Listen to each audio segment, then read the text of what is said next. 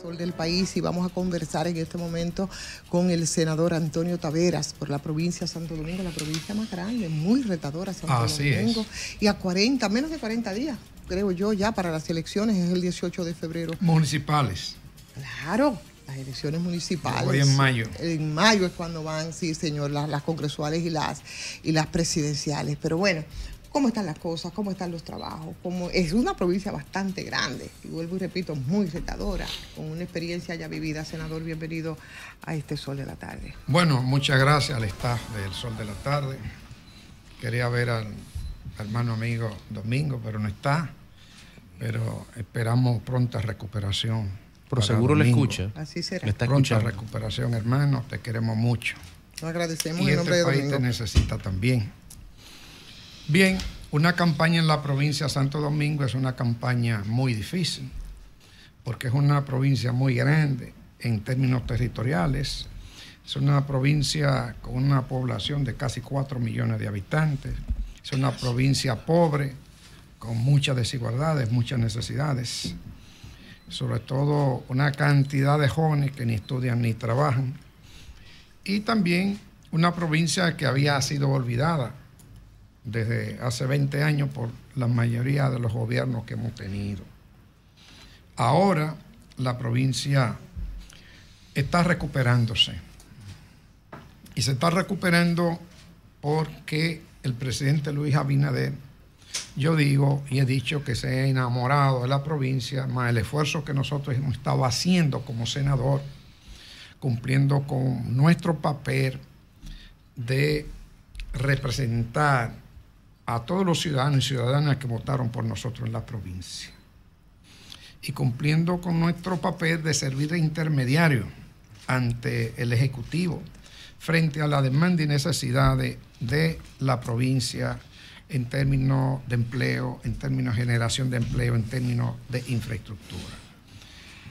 Esto es un trabajo que en principio, pues yo acordé con el presidente dedicarme cuatro años a esto.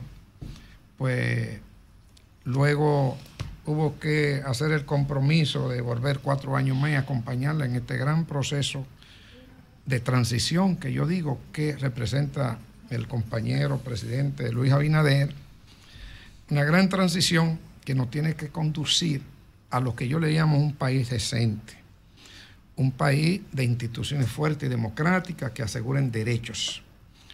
Un país donde la democracia no sea solamente ir a votar cada cuatro años, sino que la democracia implique que nadie se acueste sin cenar, que la democracia implique que usted que tenga derecho a una salud universal y gratuita, a una salud también decente, que la democracia también implique la educación universal y gratuita. Que la democracia implique también que cuando usted termina su periodo eh, útil como trabajador, pues pueda tener una pensión digna de que vivir. Sí, senador. A propósito de su comentario sobre las acciones y la mejoría que lleva la provincia de Santo Domingo, ¿qué acciones se está realizando en estos momentos el gobierno de Luis Abinader en favor de la provincia de Santo Domingo? Mire, hay contabilizadas 303 obras. ¿Podría pequeña- enumerar eh, unas cinco de importancia o relevancia? Pequeña, grande. Bueno, la más grande es la extensión del metro hacia los Alcarrizos, de este lado, ¿no? Del oeste, y en el norte la extensión del metro hacia Punta. Esos son dos cosas centrales. Gracias. Eh, bueno, ahora se está terminando, ya se terminó la avenida de San Isidro, que se amplió a seis carriles, algo importante también. La hípica y la ecológica también ya en casi todos los tramos se están, se están terminando, son obras trascendentes. Pero mire, el presupuesto nacional hubo un adendo. Ahora, yo soy el que dirijo la Comisión de Presupuesto del Senado. Aquí se quiso satanizar el acuerdo de extensión del contrato de Aerodón. Y se satanizó porque estamos en tiempo de campaña. Y algo que este pueblo no ha aprendido, o que los políticos no han aprendido, que la discusión de un tema tiene que ser con la verdad en la mano. Que a este pueblo no se le puede engañar ni en campaña ni nunca. Y aquí se trajo una discusión farsa de que el Estado Dominicano estaba recibiendo 55 mil millones de, de pesos por adelantado, comprometiendo los impuestos futuros. Y el contrato estaba claro. Esto era una especie de gasto de cierre que se le estaba cobrando por adelantado, no por adelantado, sino como gasto de cierre. No implicaba los impuestos al futuro. ¿No estaba incluido dentro de esos 725 millones de lo que se había hablado que recibiría? 725 millones de dólares que hacen más o menos 50 mil. ¿Ya recibieron la primera partida? Debe, el contrato decía que 15 o 20 días después que se pasara por Congreso se iba a recibir. Y la, supone ya se la segunda partida no. la segunda partida, perdóneme, senador, es la que usted dice. No, esa es la que usted dice que no tiene nada que ver con impuestos. No, ninguna, ninguna de las partidas. Y eso está claro. Yo, al ver la discusión, pues sometí una moción en el Senado para que el Senado invitara y se Ah, organizara como pleno en comisión para que le explicaran a este pueblo cómo fue que ese contrato se firmó y cuáles eran los elementos importantes. Al equipo redactor. Sometí esa resolución y llevamos allá a Jover Santo, encabezó la comisión de negociación, a Franklin Bae Brugar por la sociedad civil, a Enrique Fernando, Fernando Enrique también de Juan 23, José Luis Tavera de Santiago, aunque no fue, pero estuvo en la comisión. Eh, y otros abogados importantísimos y bien honestos y serios de este país reconocidos. Ahí se le explicó todo esto. Pero lo más importante es que en la discusión de qué se iba a hacer con ese dinero, pues se discutió invertirlo en gasto de capital, es decir, en infraestructura. Y nosotros como senador conseguimos que el presidente mandara para la provincia de esos 50 y mil y pico millones, 30 mil millones de pesos para la provincia. Y están ahí ya. Inmediatamente se vayan cobrando ese dinero, 30 mil millones de pesos van a ser para invertir en la provincia. Con obras, obras específicas, por ejemplo, el tema del tránsito en pintura, que era un proyecto de Odebrecht y que al tener el problema con Odebrecht se separó de Odebrecht y estaba paralizado. Eso se va a hacer con parte de ese dinero. El puente que va a Villamella, que es un pedido de muchos años, se va a hacer nuevo y se va a corregir el paralelo. El puente que es externo de flotante se va a hacer y se va a hacer otro puente también que va a salir por el otro lado al enseño Sama por la calle eh, Puerto Rico. Se va a invertir ahora 3 mil millones de pesos en asfaltado, de eso también en la provincia. Y un sinnúmero de obras más que sería muy largo enumerarlas y están enumeradas en la carta de intención cuando se mandó la deuda, la, la adenda al Senado. Mire, como senador yo fui muy claro al Senado con una agenda de desarrollo para el territorio de la provincia y fui muy claro con una agenda desde el Congreso. Como ustedes saben, el senador, el congresista, tiene tres funciones fundamentales que le asigna la Constitución. Que el primero es eh, hacer las leyes, los marcos legales para organizar la convivencia social. Nosotros, como senador de la provincia, hemos propuesto 14 proyectos de ley originales nuestros, 14 proyectos de ley importantes. Estos proyectos de ley tienen que ver con tres temas fundamentales. Primero, fortalecimiento de la institucionalidad democrática del país. Pues estoy consciente que usted puede crecer lo que hemos crecido acá durante 60 años. Si usted no tiene instituciones que funcionen fuertes, previsibles y democráticas que aseguren derechos, pues tendremos un pueblo con una riqueza muy concentrada, es decir, un país rico lleno de gente pobre. Nosotros trabajamos en eso. Segundo, el tema de recuperación de derechos. Hay una serie de derechos que están consignados en ley de la Constitución y no se cumplen. Pues nosotros hemos fortalecido algunos proyectos de ley para que eso se haga. Tercero, el tema, el tema productivo.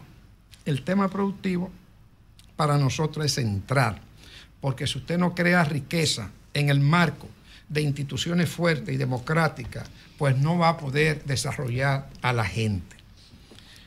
Y en ese sentido eh, van todos nuestros proyectos de ley. 14 proyectos de ley lo pueden buscar en la página de nosotros, en el Senado. Resoluciones hemos hecho muchas.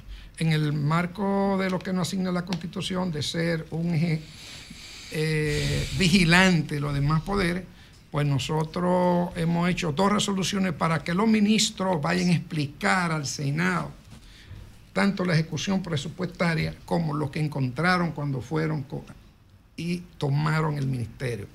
Ahora también nosotros hicimos la resolución para que los que firmaron el acuerdo de extensión de Aerodón pues fueran a explicarles a través del Senado todo lo que había pasado y lo hicimos. Es decir, hemos tratado de cumplir con nuestras funciones básicas como legislador. Senador, usted ha hecho una pequeña, en el aire un breve resumen de, rendición de cuentas a las personas que nos escuchan, pero usted que es un senador que ha pasado del sector privado exitoso al sector público duro, porque ha pasado del sector privado al Senado directamente, tendrá muchos aprendizajes y muchas enseñanzas, pero de cara a su proyecto 2024-2028, ¿cuáles son las propuestas legislativas que usted le tendría a sus electores? Mira, antes de explicarte la propuesta legislativa, nosotros tenemos un gran proyecto de desarrollo para la provincia, que hace dos años y medio venimos trabajando en eso. Es un proyecto de organizar territorialmente el crecimiento de la provincia. Es un proyecto estratégico de desarrollo que también organiza el desarrollo de cada municipio a través de un corredor industrial en 90 millones de metros cuadrados alrededor de la circunvalación. Tenemos dos años y medio trabajando. Ya, ya podemos empezar a promover esto porque ya arrancamos. Ya se hicieron los tres decretos, que declara de alto interés para el desarrollo de la zona, el decreto que crea también la unidad técnica para el desarrollo está también, y el decreto también que crea el fideicomiso público para poder trabajar desde un fideicomiso el desarrollo de la zona. Eh, ya también se nos puso el primer dinerito ahí, en las cuentas del fideicomiso para empezar entonces ya a hacer la clasificación de los terrenos según el tipo de inversión que queremos ahí. Hay que, asumir, necesitamos, hay que asumir que esa sería la prioridad entonces en caso de repetir. Esa es una prioridad, el desarrollo productivo de la provincia para crear miles de empleos. Y también ahí en ese proyecto hay escuelas técnicas, tanto extranjeras como nacionales, porque una de las cosas principales que prevé este gran proyecto de desarrollo es que las manos de obra que se van a crear, que van a ser miles, tienen que ser de la provincia. Es decir, ese proyecto usted lo presenta y la comisión técnica le va a decir a usted qué recursos humanos necesita. En un año y medio usted va a empezar en lo que se construye la nave, ¿Qué recursos? Necesita ingeniero industrial, te lo buscamos, de la provincia. Necesita plomero, te lo graduamos. Necesita electricista, te lo graduamos. Es decir, es un proyecto pensado para el desarrollo de la provincia. Y es un proyecto que yo lo tenía antes de ser senador. Senador. Y se lo presenté al presidente y lo aceptó. Y bueno, ya le digo, tenemos dos años y medio y yo creo que yo me retiraría de estos afanes públicos si por lo menos consigo que ese proyecto avance un 60%. Senador, finalmente, finalmente por mi parte, eh, veo que usted ha dado una buena explicación de su gestión y aparentemente tiene muy claro cuál era su norte y los resultados que, quería.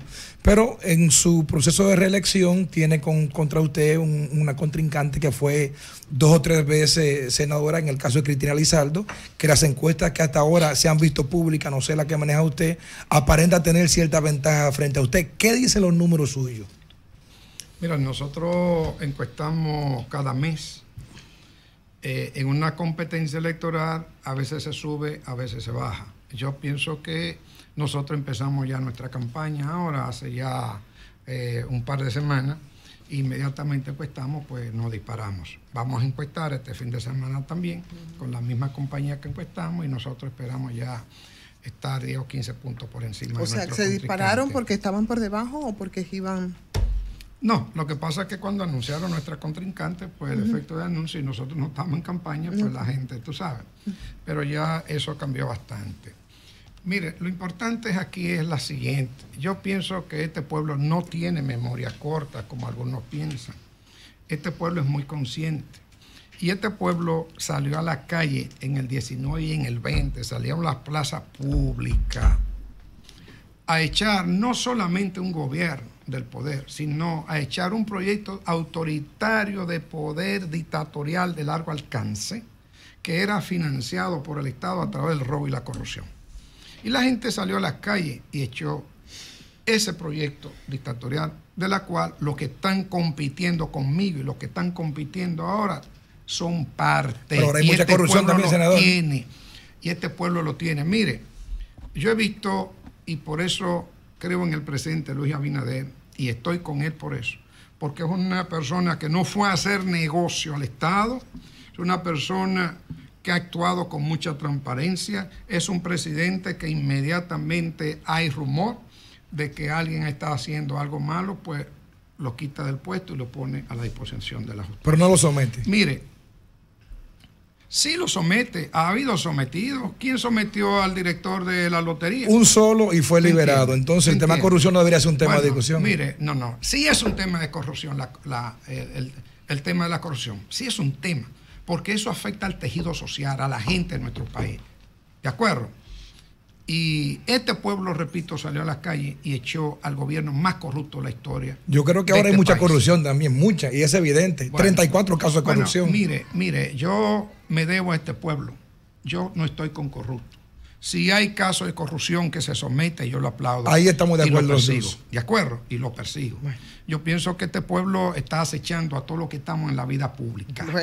Está acechando y eso es bueno porque el poder social, el poder social eh, y, y la vigilancia permanente de los pueblos es lo que hace que la democracia avance y que los gobiernos no se perviertan.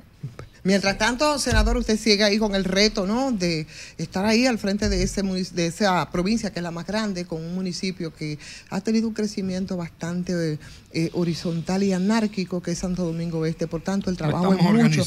lo estamos Y organizando. le deseamos muchísimos éxitos en la tarea, senador. Gracias por estar con Mire, nosotros y hacer esta para conversación. Terminar, para terminar, deme un segundo. Sí, cómo no. Nosotros tenemos unas elecciones que son dos tramos. Todas las encuestas indican que nosotros vamos a ganar alrededor del no- del 98% de los municipios de la provincia, que vamos a ganar la senaduría y vamos a ganar la presidencia también. Eso lo veremos entre poco, pero de poco. Está a la vuelta. acuerdo. Gracias, senador. Alejandro.